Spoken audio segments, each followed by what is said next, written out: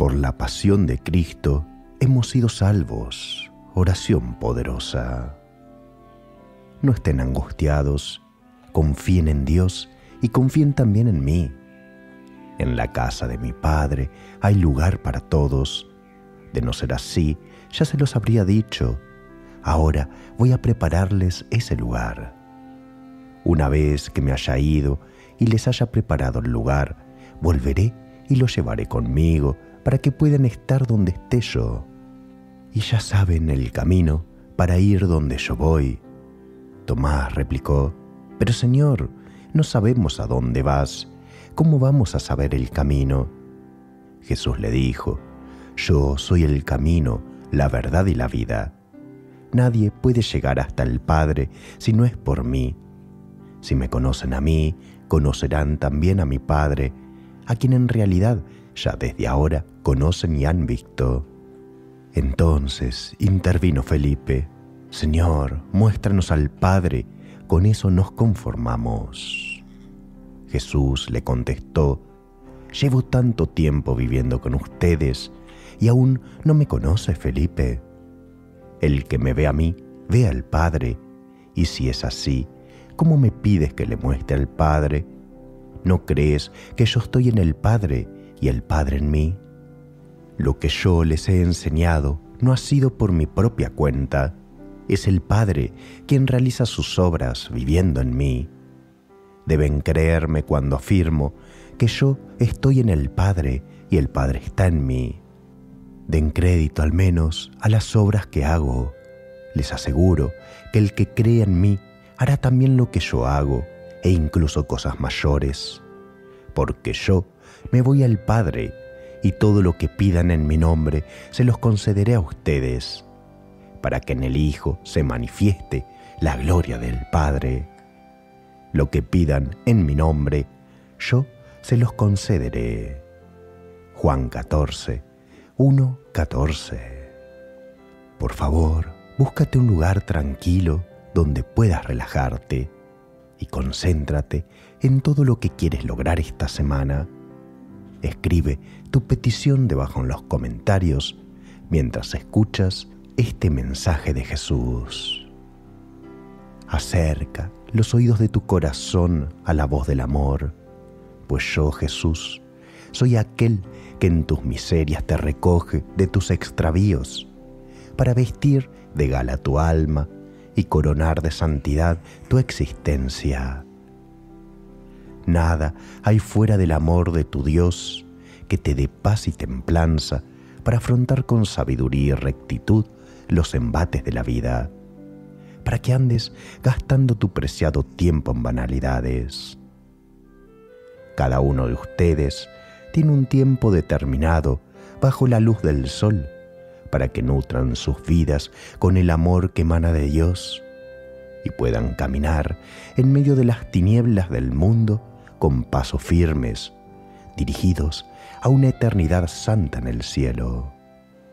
Preparen en la tierra su viaje a lo eterno, pues la muerte de la carne llegará para cada uno de ustedes como ladrón en la noche. Las lámparas de sus almas deberán estar encendidas con el aceite del amor, para que puedan brillar con el vestido de un santo en el cielo. Miren a su alrededor la partida de aquellos seres que han amado.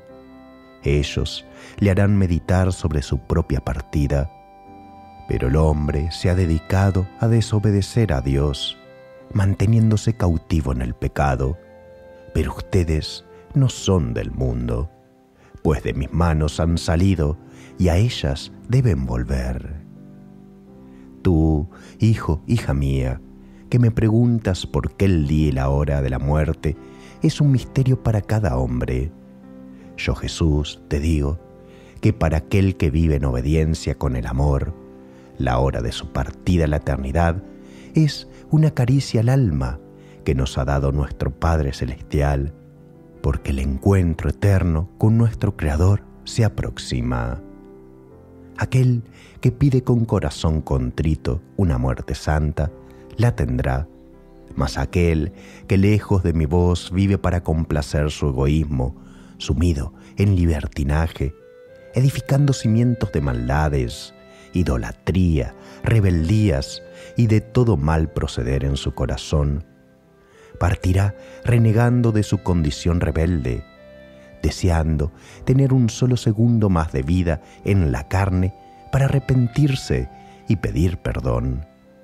Pues aquel que no vistió de amor su alma, no podrá resistir estar en presencia del amor de los amores. En el amor no hay temor, sino que el perfecto amor echa fuera el temor, porque el temor involucra castigo, mas el que teme no es hecho perfecto en el amor. Soy el que todo lo ve y todo lo sabe, pero se han vuelto ciegos y el pecado los condena a no ver.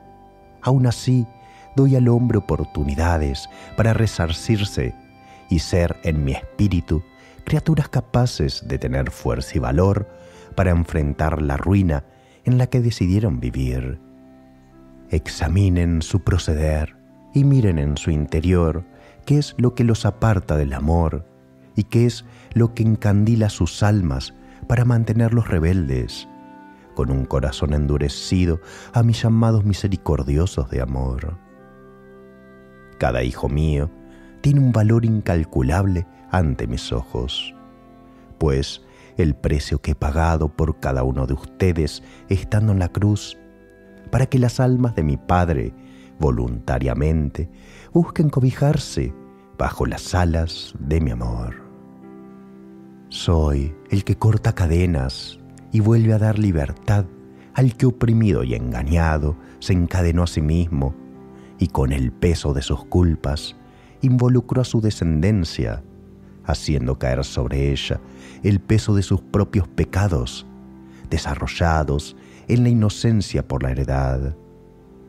Nadie como yo conoce tu alma, tus pensamientos, tu proceder, y sé muy bien lo que vales. Sé que quizás tu vida te parezca pobre a los ojos del mundo, pero yo sé que tienes mucho para dar y estoy seguro que dentro de tu corazón hay un tesoro escondido. Conócete a ti mismo y me harás un lugar a mí. Si supieras cuánto hace que golpeo las puertas de tu corazón y no recibo respuesta. A veces también me duele que me ignores y me condenes como Pilatos. Otras, que me niegues como Pedro y que otras tantas me traiciones como Judas. Hoy te pido que te unas a mi dolor, que lleves tu pequeña cruz junto a la mía. Te pido paciencia y perdón para tus enemigos, amor para tu pareja, responsabilidad para con tus hijos, tolerancia para los ancianos, comprensión para todos tus hermanos, compasión para el que sufre, servicio para todos. Así lo he vivido yo y así te lo he enseñado. Quisiera no volver a verte egoísta, orgulloso, rebelde, disconforme, pesimista. Desearía que tu vida fuera alegre, siempre joven y cristiana. Cada vez que aflojes, búscame y me encontrarás. Cada vez que te sientas cansado, háblame, cuéntame.